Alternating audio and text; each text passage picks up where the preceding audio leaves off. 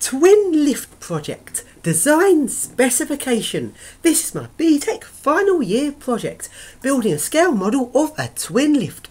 Normally, if a building requires four lifts, there has to be shaft space for four lifts. But with a twin lift, you can have four lifts in the space of just two. In each shaft, the two lifts run separately. They are not a double deck lift. They run completely independently of each other while sharing the shaft space between the two lifts. The aim of a twin lift is to move passengers as seamlessly as a normal lift. Both lifts serve all floors, but there is a holding area at the top and bottom of the shaft to allow one lift to move out of the way of the other lift to allow the other one to serve all floors. Advantages of a twin lift. Firstly, it halves the amount of space used in a building for lift shafts. This is especially important in London, where building space is at a premium.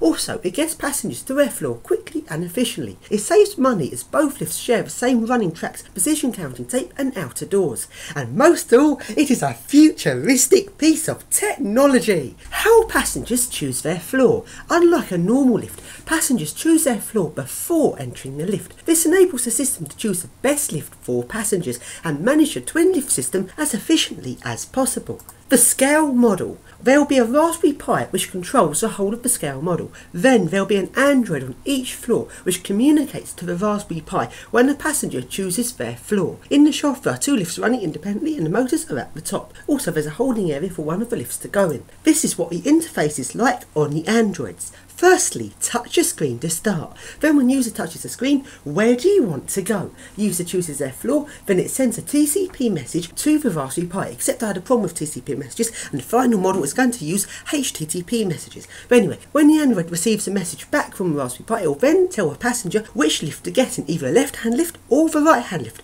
And after 5 seconds, it returns back to touch the screen to start. Then, when the lift arrives at the floor, the Android will receive a message from the Raspberry Pi saying it's now time to get in the lift. TCP between the Raspberry Pi and the Androids. The Raspberry Pi communicates with the Androids using the TCP protocol, except it doesn't, as I had a problem with TCP protocol, which I'll come on to later. I'm actually using HTTP protocol. There will be a Wi-Fi network, specially just for the twin lift, to enable communication between the Androids and Raspberry Pi. They'll communicate using short messages of text. The first letter in each message defines what the message is for. The A messages. The A messages are sent from Raspberry Pi to the Android's server to client. This type of message is to tell the Android to display text on the screen. This is an example of an A message. The first letter is the letter A. Obviously, the second letter is the floor which the message is for. The third letter indicates the colour of the screen with the message. The next letter indicates what sound should be played with the message. So like a voice saying take left hand lift or like a ding or something like that. The next letter indicates the arrow which should be displayed to accompany the message, either left, right or no arrow. Then the rest of the message is the text to be displayed. So if the message was like this example, A211L take the left hand lift. The result will be on the Android a blue background with a left pointing arrow and a message saying take the left hand lift. The B messages. These are sent from the Raspberry Pi to the Androids again, server to client. This type of message is to tell the Androids what floors the lifts are on. So this is an example of a B message. When it says touch the screen to start, it also shows what floors the lifts are on. And the message will look like B is the first letter, then left upper, left lower, right upper and right lower. The C messages. These messages are sent from the Androids to the Raspberry Pi, client to server. This type of message is sent from the Androids to tell the Raspberry Pi a passenger has requested a lift. This is what a C message looks like. First letter is the letter C, then the floor the passenger is on, then the floor the passenger wants to go to. Once the Raspberry Pi receives a C message, it has to choose whether a left or right hand lift, then send an A message back to the Android. And also, one other type of message, since I'm using HTTP protocol rather than TCP, which I initially thought I was when I made this PowerPoint, the Raspberry Pi can't just simply communicate to the Androids. Because of the way HTTP works, it can only communicate back as a response to a request. It can't just send a message at any old time. So because of this, there's also a D message. A D message does absolutely nothing. It's sent from the Androids to the Raspberry Pi to enable Raspberry Pi to send a message back whenever it wants to. Anyway, and now on to how the variables work. There are variables for the lift calls inside and outside of the lift. So if you look at the variables, each set of variables is done as an array. Each array on each floor is either true or false, or whether there's a call there. So let's demonstrate how the arrays work. A passenger arrives at the ground floor and they touch the screen to start. Then they choose their floor. I select the floor on the Android and the Android sends a C message to the Raspberry Pi. The Raspberry Pi responds with an A message to tell the passenger to take the left hand lift. In the ground floor left array, the second position of that array has now become true. This is to say the passenger on the ground floor waiting on the left hand side. Then the lift will come. When the lift comes, as the left lower car arrives first, the two transfers from the ground floor left array into the left lower car's array. This is to say the passenger in the lift wanting to go to the second floor. Then the lift goes to the second floor. Then the two in the array goes false because that's now complete and the passenger gets out of the lift. That's how the arrays work. Now on to the floor allocation variables. The floor allocation variables control how the lifts reserve position in the shaft. So for each lift there are two variables. One of these variables is the display variable. This shows the lift's actual position to show where the lift is to say what floor it's on. The other variable is the logic variable which is called the reserve variable. This this variable is used to logically show where the lift is going. And there's a very important difference between the two because the logic variable at all times says where the lift is for the purpose of what is going on. It doesn't need to literally count up as the lift goes up in the shaft. And also the logic variable reserves the shaft space as the lift moves. The twin lift directional system. The direction variable is the direction the lift is wanting to travel, but Unlike a normal lift where each lift has its own direction up or down, the twin lift has one direction variable between the upper and lower car. So this means that the upper and lower car's direction can either be up, down or split. In up mode both lifts are going up, in down mode both lifts are going down, in split mode the upper car is going up and the lower car is going down. But at no point can the twin lift ever have the upper car going down while the lower car is going up. That is simply not allowed.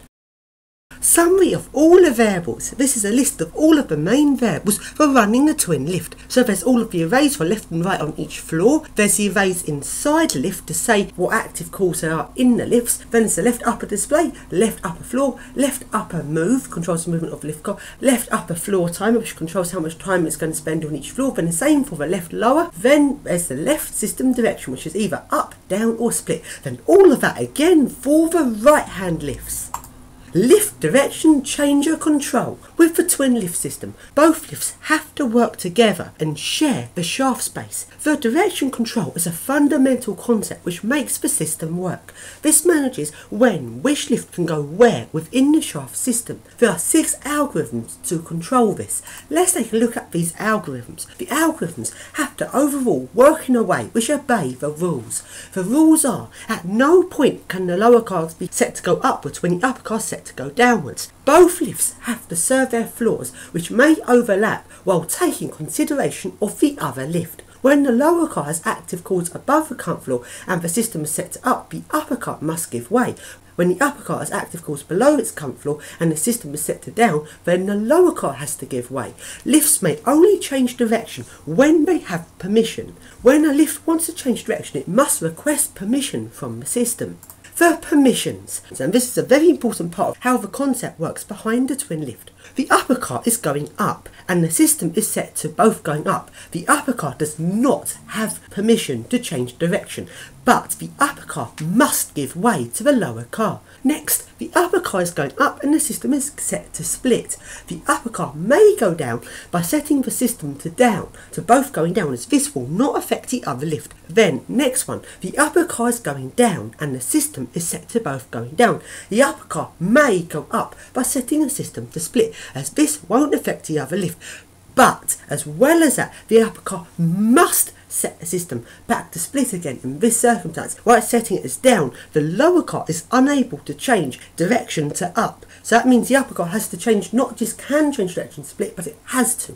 Then again, we've got the same three permissions, but for the lower car, and it works the other way around. So the lower car is going to up, and the system is set to both going up. The lower car can go down by setting the system to split, as this won't affect the other lift. But again, if the lower car's going up, because both lifts are going up, then the lower car must change to split when it's finished. It will give the upper car a chance to then set a system down so the upper car can go down.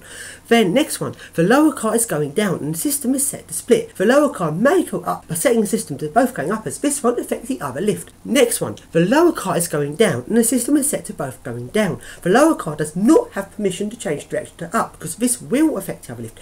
But the lower car must give way to the upper car. So it must go downwards and possibly even into its holding area to allow the upper car to serve its floor since the upper car is going down in that circumstance. The algorithms. There are six algorithms to control the twin lift. There's the lift movement algorithm, the left right choose, and the four lift control algorithms. The lift movement algorithm. This is quite straightforward. It simply controls the lift. It's just like a bog standard lift algorithm. Get to floor, open doors, close doors, except my scale model doesn't actually have doors. But it's basically just the concept of how it works. Move the floor, it's just how a lift works. I'm not going to go into detail about it because it's no different to any other lift really. It's just the algorithm that controls the lift movement. Next algorithm, the left or right chooser. This is when the Raspberry Pi receives a C message when a passenger has chosen a floor. This algorithm has to choose whether a passenger is sent to the left lift or the right lift by doing a lot of complicated calculations. I'll come back to this algorithm later in another video, but what's most important for this video is the four lift control algorithms. These four lift control algorithms control what the lifts do when they are ready to depart. So once the passengers have finished getting in and out of the lift at the floor, the lift's now ready to depart. What does the lift do? The four lift control algorithms are upper car going up, upper car going down, lower car going up, lower car going down. And the lifts don't get to choose when they're going up and down because when they go up and down, that's based on whether the system is set to up, split, or down. So that's control which way they're going. Now it's down to a lift to choose whereabouts it should go within the whole system. Remembering, I have to share the shaft space equally and give weight if the permissions say they should do so. Changing direction when finished. I said about this earlier on. When a lift has finished serving its floors and the lower car is going upwards, or the upper car is going downwards because in both of those situations they'll be blocking the other lift. Because remember if the upper car is going downwards the lower car can't go upwards because it doesn't have permission to change direction. So the upper car has to go upwards by setting the system back to split to give the lower car the opportunity to then set a system to upwards. So remember this has to work seamlessly to allow the lifts to serve their floors equally. So this is a summary of direction changes. So there's two separate codes running in parallel to achieve this. So the upper car is ready to depart. If the system is up or split, that's fine. It looks for floors above its current floor. That's quite easy. But if the system is set to down, uh, if a call's been found, go to floor, wait for the time on that floor, then go back round again. But if a call has not been found, if the system is set to up, if the upper car's going up, the system set to up, then can't do anything, but it has to give way. If the upper car's going up and the direction set to split, then the upper car can now change the direction to down so it can look for calls below its current floor. But if the system's set to down, meaning the upper car's going down, and if it gets to this point it hasn't found a call, and the system's set to down, the upper car's going downwards, the upper car must now immediately change the system back to split to allow the lower car to have a chance to serve all of its shaft space. And exactly the same is going on parallel at the exact same time with the lower car. While these two systems are going on in parallel, it should enable the shaft space to be served equally. This also means when there's no calls, the system will keep changing direction. So if there's no calls on either, anywhere within the system, say it's set to up, then the say system sets to up, then the lower car will change it to split, then the upper car changes it to down, then there's obviously still no calls, the upper car has to change it immediately back to split, but the lower car will then change it to up. This means when there's no passengers about, the system will be going up, split, down, split up, split down, split up. This enables both lifts to have a random sort of chance when a passenger eventually comes. And finally, we have the four main algorithms in detail. So this first one is the upper car ready to depart upwards algorithm. So the upper car is ready to depart, the floor timer's timed out, it's now ready to go. Are there any calls on the current floor? If there are, then it has to stay on the current floor, obviously. So next up, F is set to the current floor. Now in this little bit here, it's looking for calls above the current floor in ascending order. So if it's on floor 3, it'll be looking at 4, 5, 6 as in ascending order. And it's looking for calls either outside of a lift, heading upwards, or active calls in the lift. And it's doing this in ascending order. It's not yet looking for calls outside of the lift heading downwards. So if it finds a call, it then sends a lift to floor. If it doesn't find any of those calls, and now F is now the top floor, and it hasn't found any calls in this section, the next thing it does is does the lower car want to go to the top floor? As if the system sets up and the lower car is going upwards, then the upper car has to give way by going to the holding area. If it doesn't, then the next thing it does is look for calls in descending order from the top floor back to the floor the lift's currently on, and it's looking for calls outside of the lift heading downwards. Or if the lower car wants to come up, then it has to go one floor above the lower car. If it finds a call, then it goes to that floor, obviously. If it still hasn't managed to find a call, then it changes direction. Remember the direction changing system. So the upper car is going upwards if the system is set to up, then the upper car cannot change direction because that will affect the lower car. If the system is set to split, then the upper car will then change the direction to downwards. So the upper is going down and that will not affect the lower car. Next algorithm, upper car ready to depart downwards. Now this is similar, the only difference is if the lower car is in the way, then the upper car will wait for it to get out of the way because the lower car has to give way to the upper car in this situation. Again, first thing it does is look for calls in the way it's going, so it's going downwards, it looks for calls in descending order, of course going down, and it doesn't find any, then it looks for calls heading upwards. Then, once it's done that, as the upper car is ready to depart downwards, if it hasn't found any calls, it then has to immediately change the direction back to split to allow the lower car the opportunity to set a direction to up so the lower car can go upwards.